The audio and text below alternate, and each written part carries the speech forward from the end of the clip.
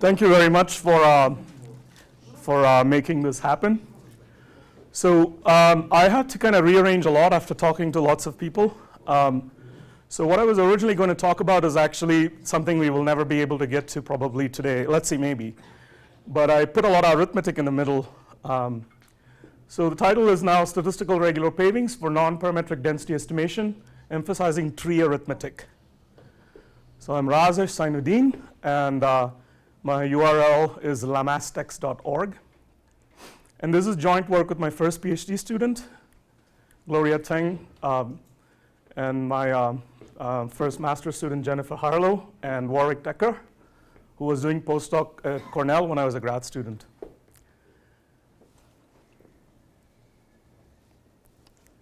So here's some real world motivations. Right, so we sort of are motivated by air traffic code trajectories. I'm motivated by them. I was motivated by them uh, in 20, 2011, 2010. So we sort of came across a really nice data set from NASA uh, with concomitant weather data uh, over Atlanta, Georgia, one of the busiest airports.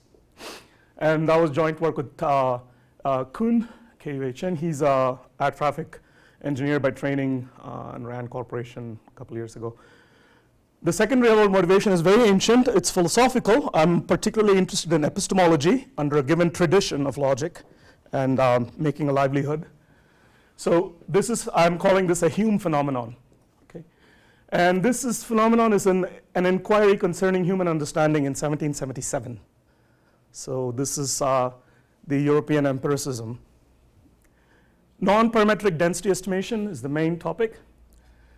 And, uh, and then we're going to get into arithmetic and algebra of planar binary trees. So this is only supposed to take 23 minutes if I do it right. This is something in our primer series at the Center for uh, Computable and Constructive Mathematics in Christchurch, New Zealand. And then we all rush to have a pint of beer after that 20 minutes. So um, I may not be able to get here, but it's there because there's a lot of connections to, uh, for example, Lambert's O minimal stuff. I was looking in Wikipedia the chapter, there's a whole chapter on Vapnik-Chervonenkis theory. And uh, it's all about, uh, from a non-parametric empirical process point, viewpoint, it's all about understanding the growth of the complexity, a particular measure of a combinatorial geometric complexity of what you can observe. Okay, these are events. And that's kind of a, a, a, a parallel problem with parametric models, and they're kind of equally important.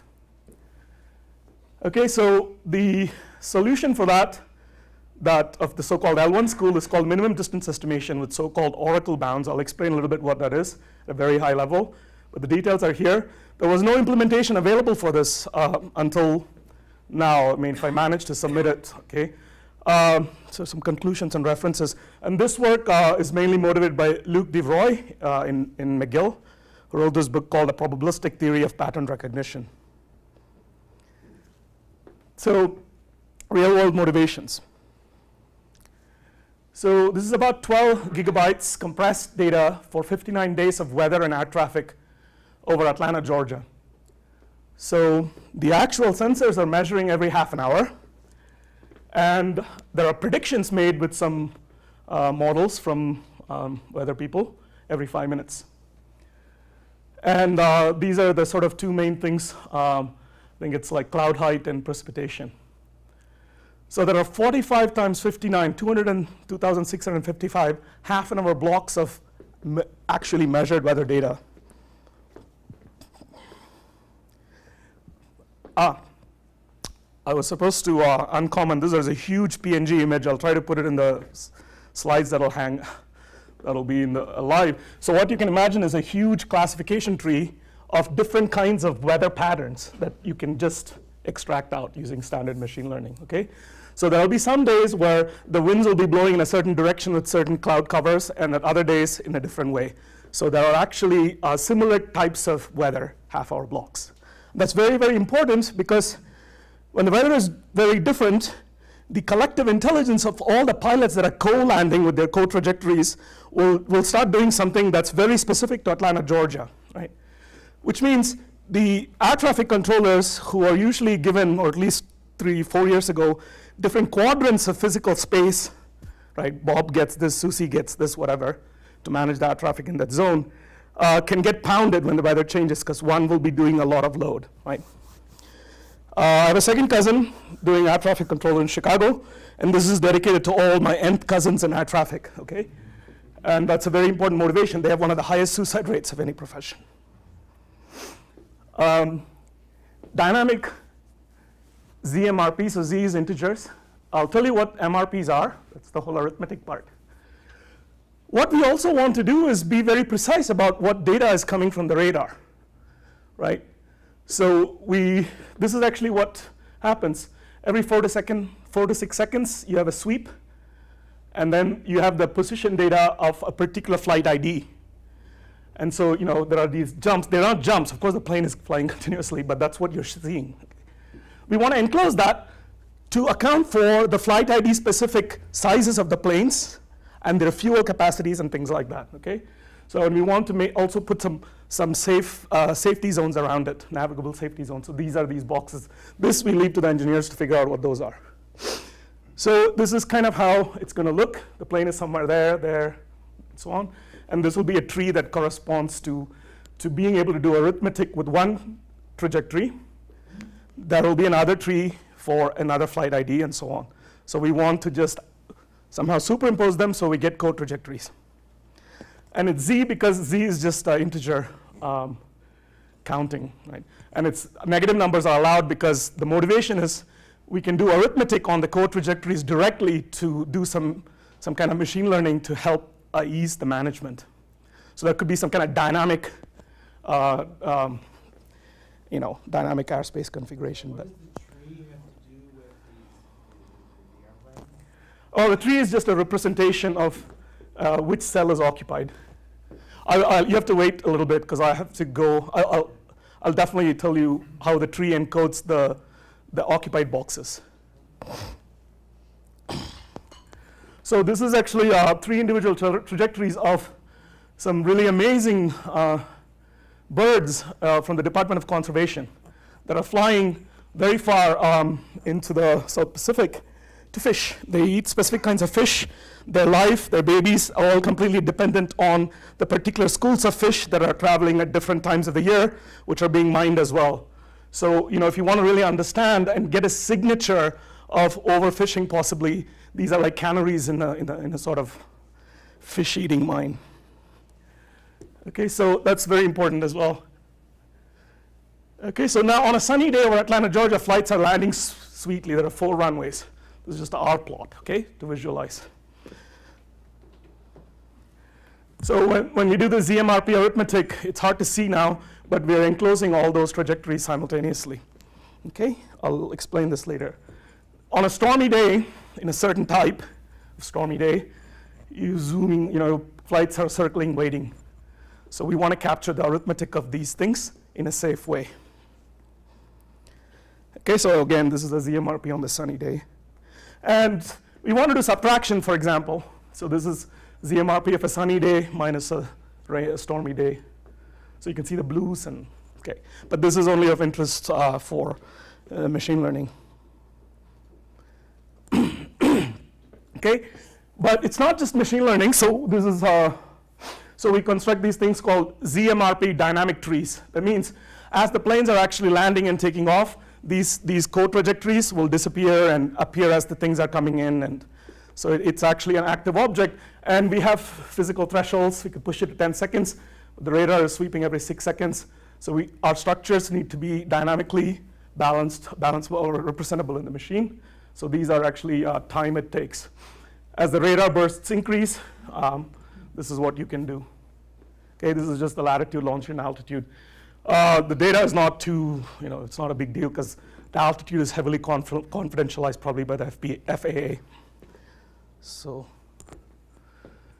all right, the phenomena, uh, double pendulum. So you saw something very nice about the single pendulum concretely in Julia earlier Luis.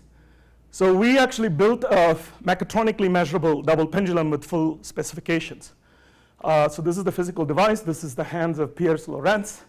It's one of honor student. Um, so he's just releasing it.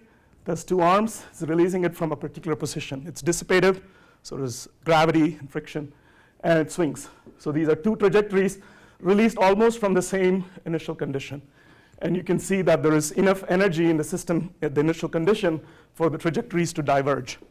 So this, this is the, you know, this is enough for us to, we don't need, you know, constant energy and we're not interested in control problems. I mean, we just want to do some simple stuff. So there's a parametric model for it. Uh, you can look it up in Wikipedia. So it's the center of mass of each arm in these idealized rods and, you know, uh, height of each arm. And uh, um, this is what you're measuring, theta 1 and theta 2. Lengths, there's gravity. And so this is, you know, I don't know, so there's uh, standard uh, Euler-Lagrangian derivation. I won't go into it, but it involves the standard functions. Uh, and you get something, ah, vector field. okay, but it's parametric, it's finite dimensional. And uh, you know, physicists uh, know what to do with this. But we have uh, this many parameters here, uh, 10 parameters, including gravity. So what's the so difference between finite versus infinite dimensional models from a, a decision theoretic point of view? So finite dimensional models can be rigorously exhausted in reality, right? So we specifically constructed this double pendulum so that we can actually put like bobs with double hooks with springs, okay, into each arm. We can put permanent magnets at desired locations. We can add extra masses where we like. And uh, so that means we can challenge any human who wants to come up with a finite dimensional explanation of the phenomena. Right? We, can, we can put vice grips to lock the top arm, you know, to stable stance. But we could play with that too. So, so we want to uh, be very, uh, we want to challenge any finite dimensional formulation. Okay, uh, when I put on my non-parametric hat, okay? But of course, we're working here very hard. It's not easy. So to rigorously exhaust the parametric models, we need to actually do computated proofs in dynamics. There's a Polish library, CAPD, we're using. Um, we also use CXSC, so we use all the classical libraries. Um, but we're sort of pointer types, so C, C++, okay? Um, yeah, so that's um, work in progress. And then here, today's talk or the planned talk, we're taking a non-parametric empirical process approach okay? Which means essentially we, uh, we allow the models to be infinite dimensional, so there's no finite uh, parameter uh, specification. But we want this, uh, this inference to be, uh, to hold this property called universal performance guarantees. This is the property of the so-called L1 school, which is very difficult to come up with an algorithm to do it. And um, you want to basically estimate the density of the trajectories from multiple independent releases of each arm, okay? So you, anyone, you can do as much data as you like. So that's our assumption. And we are also making the assumption that when I release it from pretty similar up to the, up to the nonlinearity and the chaos in the, in the process, it's, uh, it's an independent and identical release, okay? That means there's no pixie doing anything. Okay, so this is actually um, Constru Math South 2012. So supported by Constru Math as well as CorrCon, all of this work. So these are some people, and these are the double pendulum trajectory release signatures after the event. Okay, so, so we're using data from here uh, for inference. So uh, the part that I may not be able to go into produces outputs like this. This is a strongly, uh, um, you know, universally consistent uh, uh, non-parametric density estimate of arm one and arm two with these performance guarantees. I'll explain what they are. Okay. Um, I guess I should qualify very quickly by saying that the, the, the interval stuff, even if you could do it correctly, and if you control as much as possible, the, the, the slits in the optical encoders have manufacturing errors, right? So you really probably maybe possibly need the, the angular positions to actually be locked intervals, overlapping intervals. I don't know. We're also ignoring the time algebra up to quartz drifts. We're, we're measuring up to uh, you know, one millionth of a second, but, but, but the time algebra, we, we're doing everything partitioned, right? Set partitions, fine partitions, but they may not be fine. So we're ignoring all those details, and it may not matter for the system. oh, we have to have a beer and go dancing in New Delhi or something for that. Right? Let's go, uh, okay. So massive metric data streams, right? What is this? A massive metric data stream is simply this. It's just coming at you, and these are just points in RD, and they are independent and identically distributed from some unknown density F, okay? And what I mean by a burst is this bold stuff. I'm looking at bursts at a time, okay? Because I have finite random access memory on my machine. so this is kind of our limits. Uh, basically, dimension is less than 10 and usually around 6 for uh, highly structured densities. That means there's very complicated densities. Okay, if they're not highly structured, you can push it far. The sample size for a single burst is somewhere between 10 to the 4 and 10 to the 10, depending on the, how complex F is in L1. So most estimators have grind to a halt on such data sets, I mean, available implementations. so we need a multidimensional metric data structure that is capable of computational efficiency. So we, you know, concretely, we have to do before the next radar sweep. Okay.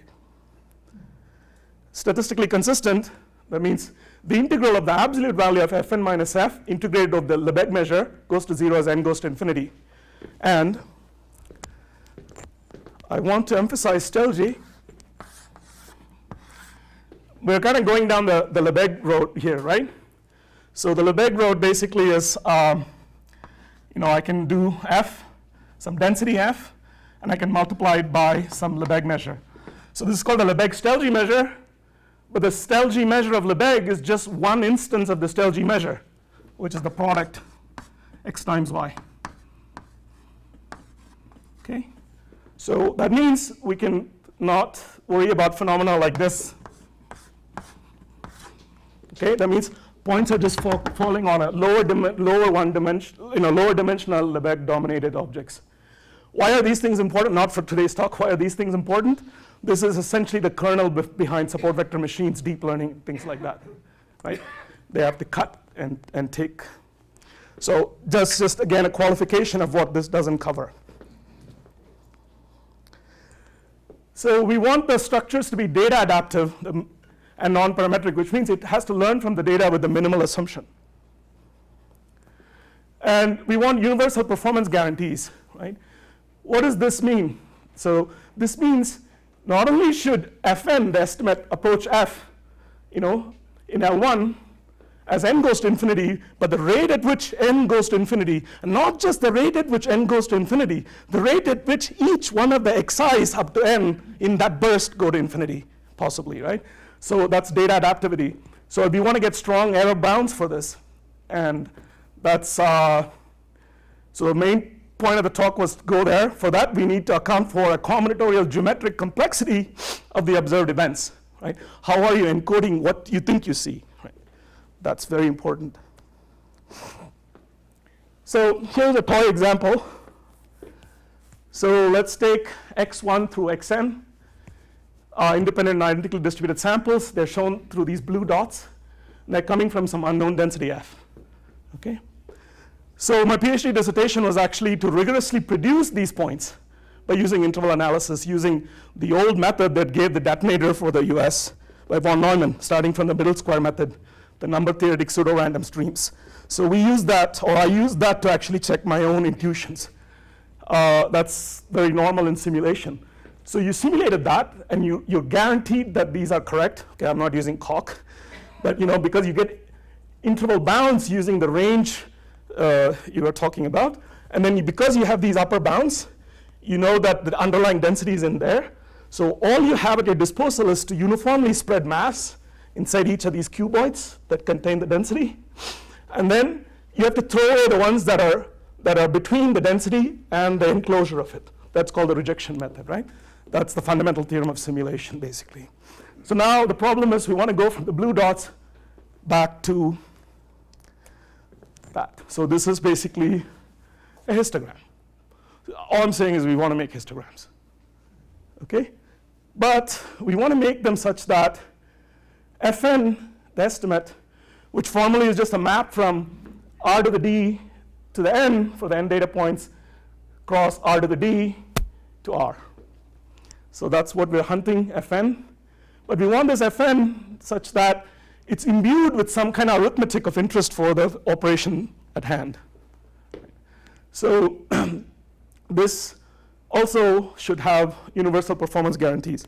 That means F is allowed to be in L1 even when you do the so-called smoothing problem, which is what's ignored in uh, all, every implementation I'm aware of of density estimation.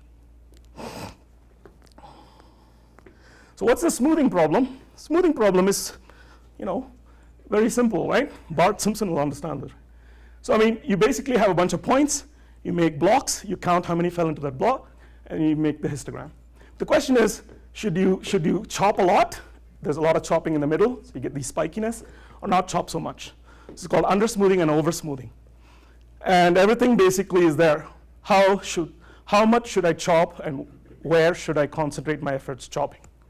Right? And more fundamentally, n is always less than infinity.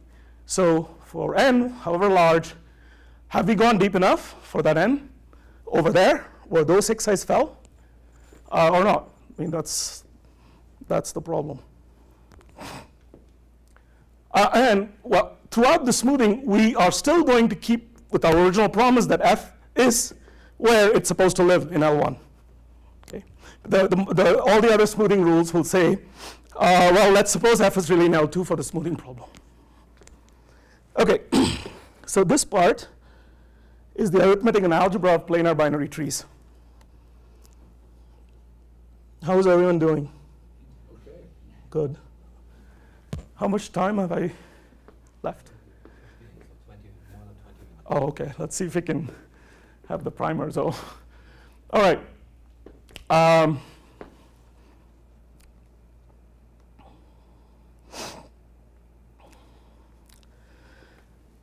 so this is the outline of this, this part. So we have uh, a theory of regular pavings. It's exactly the regular pavings uh, Luis talked about, except those regular pavings are a, a subclass of these. They usually have Boolean values mapped to them or uh, interval Booleans with this undecidability thing. Uh, but now we're mapping uh, reals, uh, other things now. So that's the theory, and we'll focus a little bit on real mapped regular pavings to get more intuition and uh, some applications. And these histogram things I'm talking about, I'm formalizing them as Markov chains on the Hasse diagram of these trees giving birth to other trees by only splitting one leaf at a time. I'll, I'll explain in a picture soon. so this is extending arithmetic. So arithmetic over reals. There is um, a natural extension of that to arithmetic over intervals, as you know now. And then our main idea is to further naturally extend to arithmetic over mapped partitions of an interval called mapped regular pavings. We want to do this by exploiting the algebraic structure of partitions formed by finite rooted binary trees, FRB trees. And thereby provide algorithms for several algebras and their inclusions in the Neumaier sense, Arnold Neumaier sen sense uh, that he mentioned in the history of interval. So thereby we provide algorithms for several algebras over these partitions. Well, here's a color arithmetic, right? So you've got some partition of the space, and the trees will encode this partition. I'll explain how. And you have one mapping, so you map red to this box, whatever to each box, another bunch of colors, and then you do some, there's some notion of subtraction of RGB colors, native in C++. We want to get that subtraction. This is uh, closer to Jaulin's world, except uh, here there is just uh, true or false. So this is a way to represent whether uh, the sphere, I mean, a subset of some big, big space. I have a 2 minus 2 to 2 uh, cube, and then I'm encoding a subset of that using by mapping Boolean values to the tree. Here are two spheres, and then the intersection. Okay, but these spheres are holes in them, so And of course, for non-parametric density estimation, this is the motivation. We want to say average histograms. But the point is we want to average histograms with different partitions. In the Neumaier's inclusion algebra, right, he has the same fine grid in the same old sense of the dyadic partitions, right? The Hahn set functions, for example. So where we want these partitions to be wide somewhere, not so wide somewhere, then when we add the two, we want to be fast. Why do we want some, so it to be wide somewhere and not elsewhere? Because, because you know, that's natural. I mean, because we don't want to split a lot and waste our effort when the function is barely changing somewhere. okay? So MRPs allow any arithmetic defined over elements in Y to be extended pointwise to what I'm calling YMRPs, or Y is just a, a, a plugin. It can be Booleans, reals, interval reals, interval Booleans, etc. So essentially, we're doing arithmetic on piecewise constant functions and interval valued functions as a, the simplest example. Um, we're exploiting the tree-based structure to obtain interval enclosures of real valued functions efficiently. Um, and then uh, statistical set processing operations like marginal density, conditional density, and highest, highest coverage regions, and visualization. So this is the other important thing. We want, we want the arithmetic to be of use to further statistical set processing. That means maybe I'm interested in the highest density regions. So people call this bump hunting.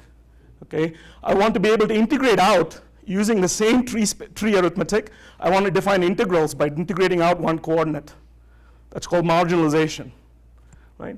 Um, and I want to be able to slice. So I have some representation. I want to take a slice, okay? Always, always parallel to the coordinates. Those are important for prediction because those are called conditional density regressions, where we don't have to restrict ourselves to the expectation on that direction, but the full complexity of the, the you know, what should be predicted. Right? That's hard to do because, uh, yeah.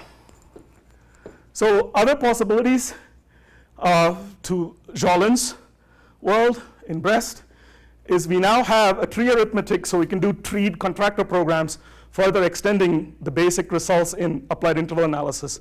So we implemented the first four chapters of applied interval analysis in this schema where we only map to interval booleans, like image SPE or um, set inversion via interval propagation, all those standard algorithms. Okay, but we haven't done contractor programs and stuff, but our implementation is templatized. So somebody who really wants to can do quite, quite a bit more upstairs. okay?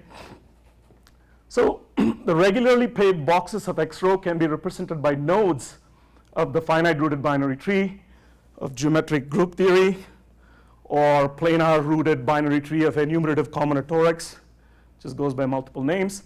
So what we have X sub rho this is a bold x is an interval for me. So this is the root node. So the rho here x sub rho is just an interval in one dimension. And um, I split it. So I have x rho L, x rho R. And then I split again, x rho LL, x rho LR. Okay? So, but what if it's in 2D? We don't want to leave the space, right?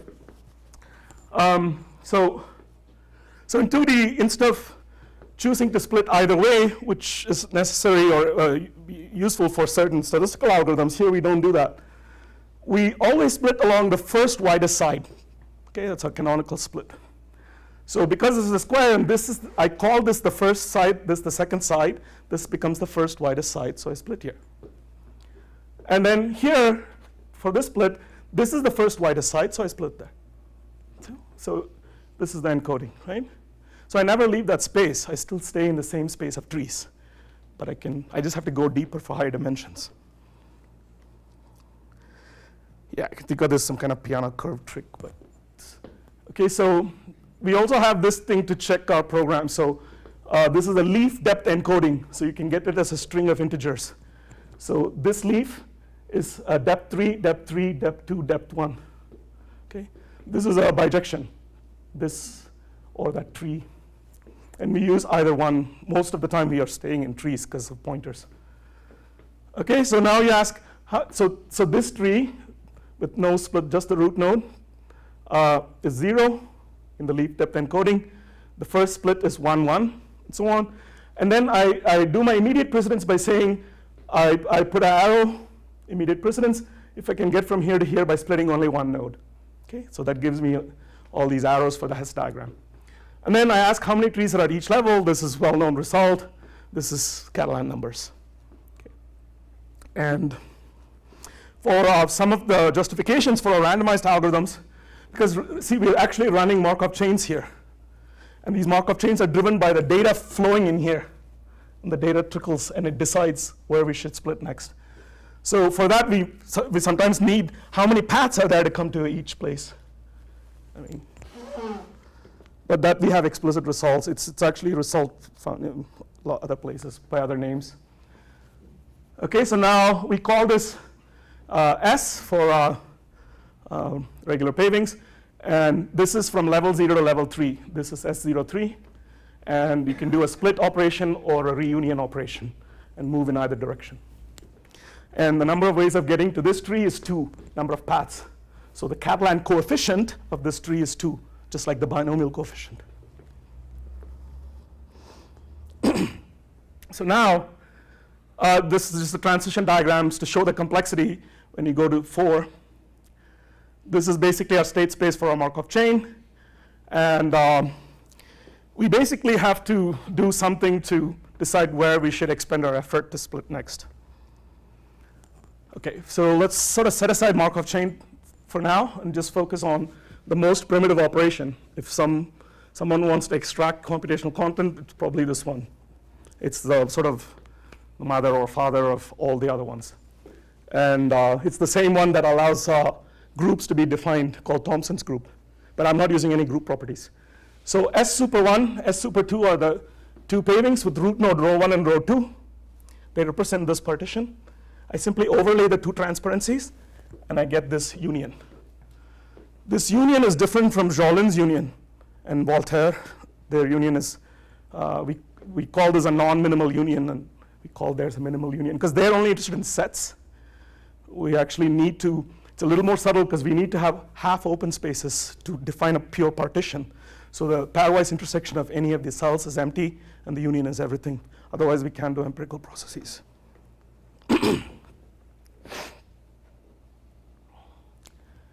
um, I guess I'll somebody's water. I think I need to drink a little water.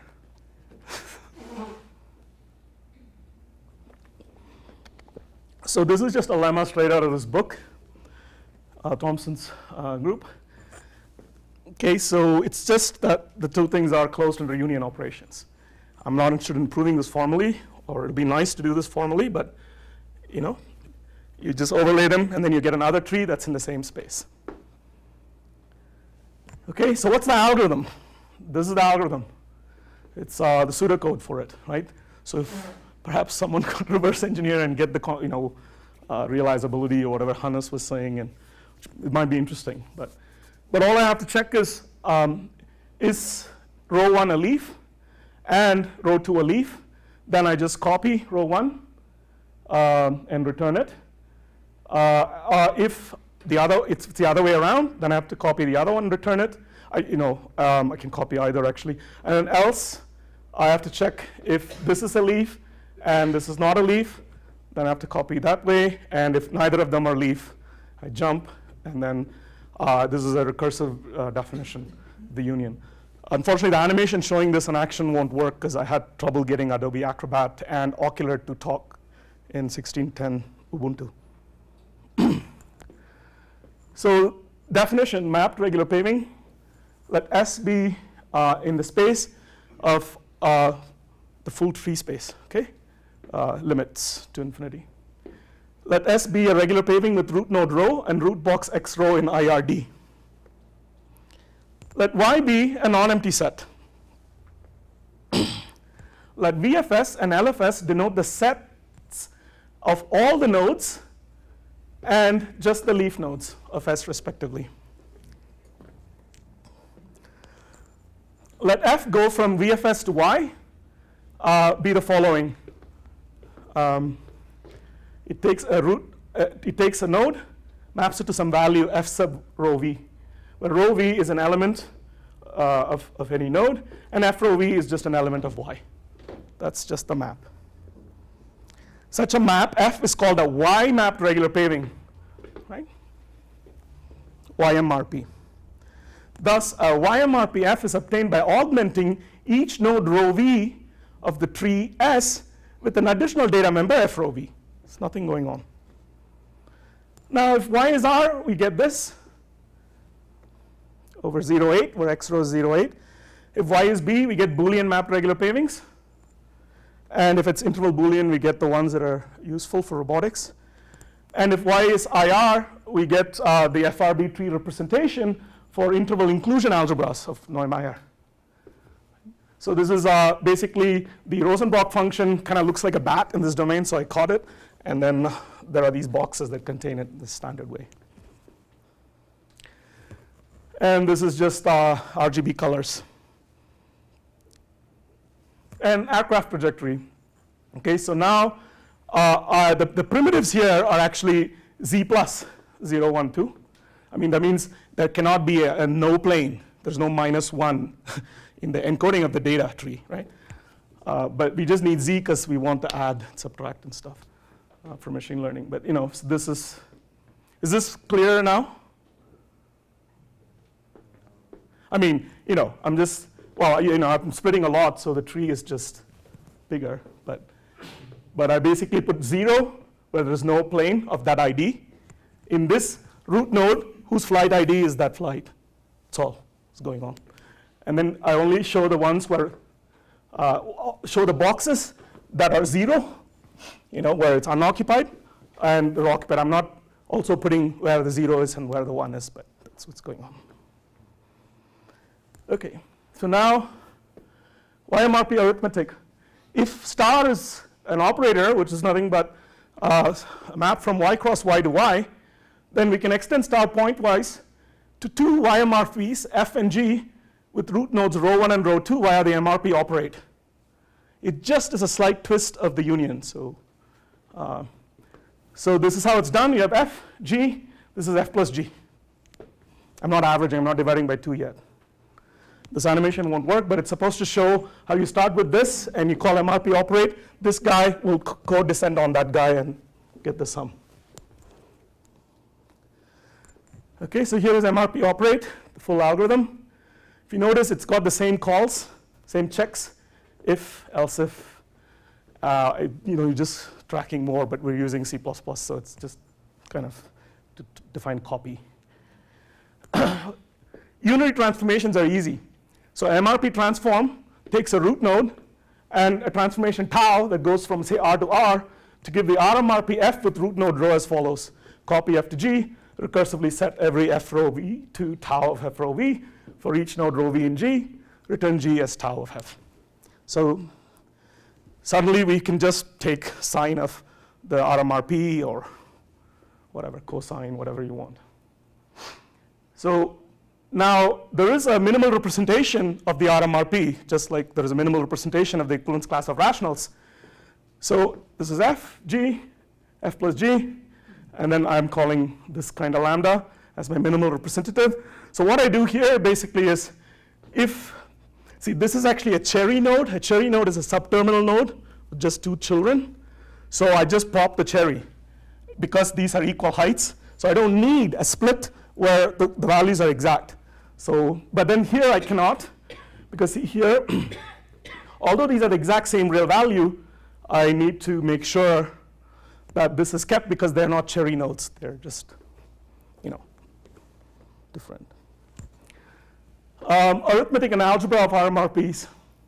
So thus we can obtain arithmetical expressions specified by finitely many sub-expressions in a directed acyclic graph of expressions whose nodes themselves are RMRPs. That means, you know, instead of pop having integer plus, we can just pop in RMRPs and define plus. So the nodes of the DAG will be RMRPs trickling. Do you understand what I mean? so input and output nodes are themselves RMRPs and whose edges involve uh, these things. The edges of this graph is arithmetic operations and uh, standard, standard transformations and their compositions.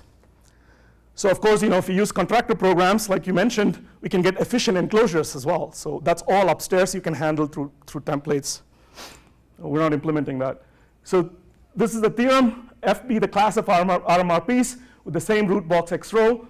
then f is dense in the space of the algebra of real valued continuous functions on x row.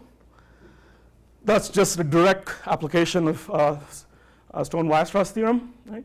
So since x row is an IRD, uh, it's a compact Hausdorff space. By the Stone-Weierstrass theorem, we can establish that f is dense in C x row R with the topology of uniform convergence, provided that f is a subalgebra of C x row R that separates points in x row and which contains a non-zero constant function. Uh, these are satisfied by construction. So f is a subalgebra of C x row R since it's closed under addition and scalar multiplication. Right? so f contains non-zero constant functions. Finally, RPs can clearly separate distinct points x and x prime that are not the same uh, because we can just chop deeply enough and we are partitioning, unlike Jaulin does. So uh, thus, the class of RMRPs with the same root box x row is dense in the algebra of real continuous functions.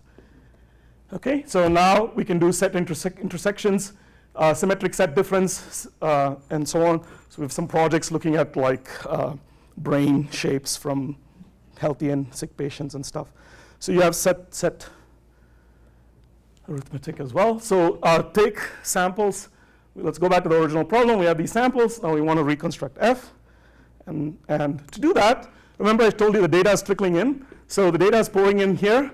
And you simply keep track of a counter, how many things went through there, like a grocery machine, I mean, grocery store. Cha-ching, cha-ching, cha-ching. These are called recursively computable statistics. Fisher had these ideas as well, and lots of others. So as data comes in, these will go increment. And so we know, and then we hold pointers to the actual data itself in the leaf nodes and sort of move them up and down as the tree moves. And I'm just showing the heights. They come from the total number of counts there that fell in there, divided by the total number of points that was pumped in there, which is 10 over 10 times 1 over 1. The, the denominator is the volume here. So we just divide by, uh, so that's called the, um, that's the empirical measure. That's, that's your estimate of the histogram. So we kind of have both of these things in memory. So these things are reacting to the data, and then we periodically get a snapshot of these things and do things arithmetic with it, and, and go and decide how this thing should behave with this. Uh, it's, you know, it's how the Markov chain can, should behave. Okay, so here is uh, the same thing for the Levy density. And if people uh, want, to, want to insist on using kernel density estimation, which is a standard tool in stats, and it's very important, if the underlying density is not too complicated, it's way more efficient. So if, if your assumptions are fine, then you can do your kernel density estimate, which you should, because it has much better error bounds if f is smooth enough. And then you can approximate it using RMRP very, very quickly, okay, uniformly. And then the approximation time is a fraction of the time it takes with just 2,000 points. Takes quite a bit. But you know, these are just the uniform errors for these RMRP approximations, and they're very, very quick compared to the time it took you to make the KDE. Now you have the KDE for, for speed under smoothness assumptions, and you have RMRP arithmetic going hand in hand. So this is John Lennon, right? So it's imagine, there's, there's no schools here. So uh, pointwise image is straightforward. So a lot of times statisticians just want to ask what's the height of a box.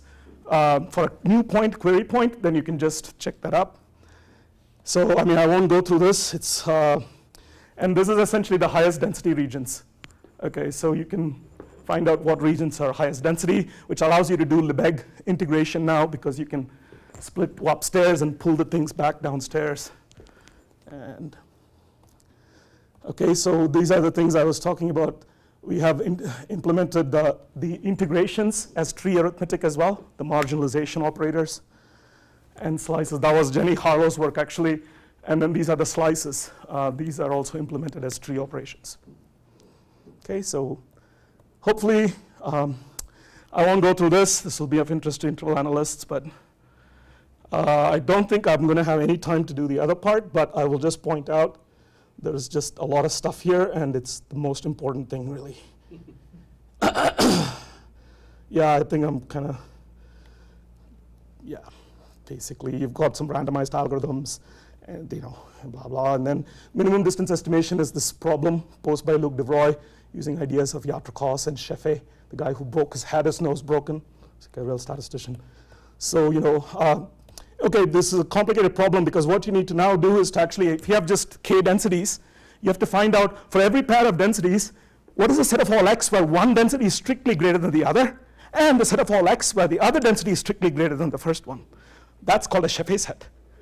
And then a Yatracos class is all ordered pairs of Scheffé sets. So you have k densities, you have to choose the best one. That's the problem.